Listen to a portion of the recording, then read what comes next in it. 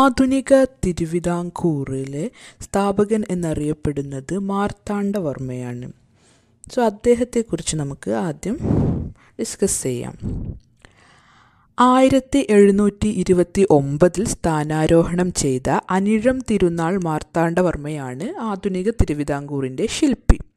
രണ്ടാം ചേര സാമ്രാജ്യത്തിന്റെ കാലഘട്ടത്തിൽ ചെറിയൊരു നാട്ടുരാജ്യമായിരുന്ന തിരുവിതാംകൂറിനെ പുരോഗതിയിലേക്ക് നയിച്ചതും വലിയൊരു രാജ്യമായി വികസിപ്പിച്ചതും മാർത്താണ്ഡവർമ്മയായിരുന്നു.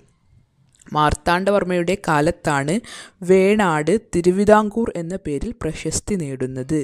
തിരുവിതാംകോട് അഥവാ തൃപ്പാപ്പൂർ സ്വരൂപത്തിലെ അംഗമായിരുന്നു മാർത്താണ്ഡവർമ്മ. തിരുവിതാംകോട് എന്ന സ്വരൂപനാമത്തിൽ നിന്നാണ് തിരുവിതാംകൂർ എന്ന രാജ്യനാമം ഉണ്ടായത്. രാജ്യത്തുടനീളം തികഞ്ഞ അരാജകത്വം നിലനിന്നിരുന്ന കാലഘട്ടത്തിലായിരുന്നു മാർത്താണ്ഡവർമ്മ അധികാരമേറ്റത്. എട്ടു വീട്ടിൽ പിള്ളമാരുടെ പാവ മാത്രമായിരുന്നു മാർത്താണ്ഡവർമ്മയ്ക്ക് മുമ്പുള്ള രാജാക്കന്മാർ. ഇതിന് അറുതി വരുത്താൻ മാർത്താണ്ഡവർമ്മ തമിഴ്നാട്ടിൽ നിന്നും മറവപ്പടയെ കൂലിക്ക് കൊണ്ടുവന്ന് അരാജകവാദികളായ തമ്പിമാരെയും എട്ടുവീട്ടിൽ പിള്ളമാരെയും ഉന്മൂലനം ചെയ്യുകയും രാജ്യവിസ്തൃതി വർദ്ധിപ്പിക്കാൻ സ്വന്തം സൈന്യത്തെ സജ്ജീകരിക്കുകയും ചെയ്തു.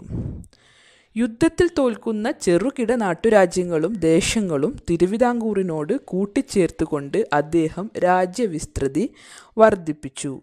പരാജിതരായ നാടുവാഴികളെ സാമന്തന്മാരായി അവരവരുടെ നാട് ഭരിക്കുവാൻ അനുവദിക്കുകയെന്നായിരുന്നു അദ്ദേഹം സ്വീകരിച്ചിരുന്ന രീതി.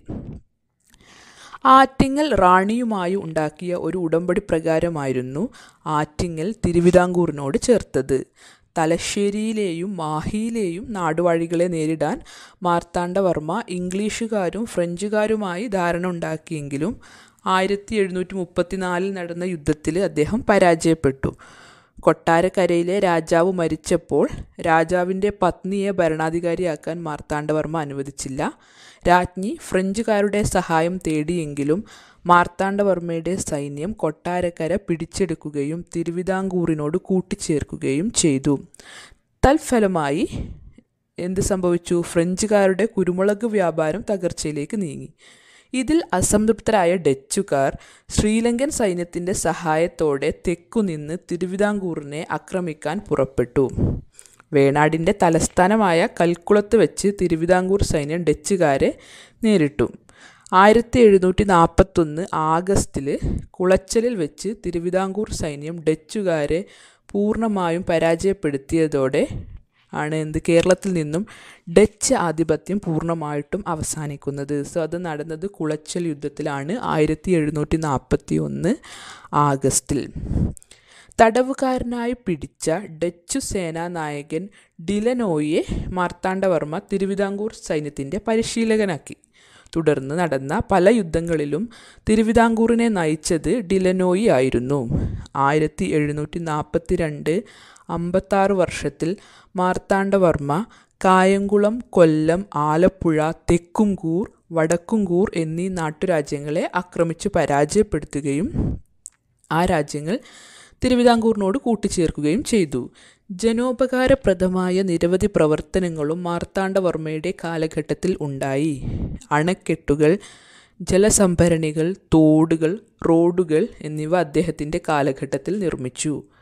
പത്മനാഭപുരം കൊട്ടാരവും പത്മനാഭസ്വാമി ക്ഷേത്രവും കൃഷ്ണപുരം കൊട്ടാരവും അദ്ദേഹം പുതുക്കി പണിയുകയുണ്ടായി സോ ഇതെല്ലാം പുതുക്കി പണിതത് മാർത്താണ്ഡവർമ്മയാണ്. ഭരണ സൗകര്യത്തിനായി രാജ്യത്തെ തെക്കേ മുഖം വടക്കേ മുഖം പടിഞ്ഞാറേ മുഖം എന്നിങ്ങനെ മൂന്നായി തിരിക്കുകയും പിന്നീട് അവയെ കാര്യങ്ങളുടെ കീഴിൽ മണ്ഡപത്തും വാതിലുകളായി വിഭജിക്കുകയും ഓരോന്നിനും പ്രത്യേകം കാര്യക്കാരെ നിയമിക്കുകയും ചെയ്തു. ഇങ്ങനെ ഈ മണ്ഡപത്തും വാതിലുകളാണ് പിൽക്കാലത്ത് താലൂക്കുകളായിട്ട് മാറിയത്. മണ്ഡപത്തും വാതിലുകളെ പിന്നെ പകുതിയായും വിഭജിച്ചു. പകുതികളാണ് പിന്നീട് വില്ലേജുകളായിട്ട് മാറിയത്. സോ അന്ന് തന്നെ ഒരു ഡീസെൻട്രലൈസേഷൻ അവിടെ നടന്നിരുന്നു എന്ന് വേണമെങ്കിൽ പറയാം. സുശക്തമായൊരു കേന്ദ്രീകൃത ഭരണം വ്യവസ്ഥാപിതമാക്കിയതോടൊപ്പം നികുതി സംരംഭത്തിലും മാർത്താണ്ഡവർമ്മ ശ്രദ്ധ പതിപ്പിച്ചു. ആയിരത്തി എഴുന്നൂറ്റി മുപ്പത്തി ഒമ്പതിൽ നിലം പുരയിടങ്ങളുടെ കണ്ടെഴുത്തു നടത്താൻ അദ്ദേഹം വ്യവസ്ഥയുണ്ടാക്കി. ഈ വ്യവസ്ഥ പ്രകാരം വസ്തുക്കളെ ദേവസ്വം ബ്രഹ്മസ്വം ദ്വാനം പണ്ടാരവക എന്നിങ്ങനെ നാലായി വിഭജിച്ചു. ഏതൊക്കെയാണ്? ദേവസ്വം ബ്രഹ്മസ്വം ദാനം പണ്ടാരവക.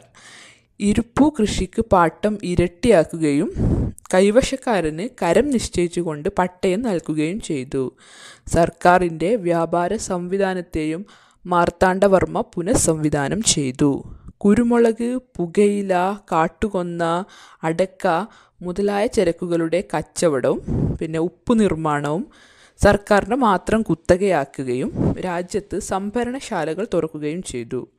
കയറ്റുമതിയിലും ഇറക്കുമതിയിലും ചുങ്കം പിരിക്കാൻ പ്രത്യേകം സംവിധാനം ഏർപ്പെടുത്തുകയും ചെയ്തു.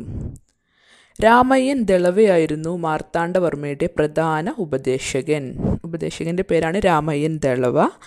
ആയിരത്തി എഴുന്നൂറ്റി അമ്പത് ജനുവരി മൂന്നിനാണ് തന്റെ പ്രശസ്തമായ തൃപ്പടിദാനം മാർത്താണ്ഡവർമ്മ നിർവഹിച്ചത്. അതായത് രാജ്യം ശ്രീ പത്മനാഭന് തൃപ്പടിദാനമായി സമർപ്പിച്ചു. അന്നു മുതൽ മാർത്താണ്ഡവർമ്മയും പിൻഗാമികളും ശ്രീ പത്മനാഭ ദാസന്മാരായിട്ടാണ് ഭരണം നടത്തിയത്. രാമപുരത്തു വാര്യർ കുഞ്ചൻ നമ്പ്യാർ എന്നീ കവികൾ ഏറെക്കാലം മാർത്താണ്ഡവർമ്മ രാജാവിന്റെ സദസ്സിലെ അംഗങ്ങളായിരുന്നു.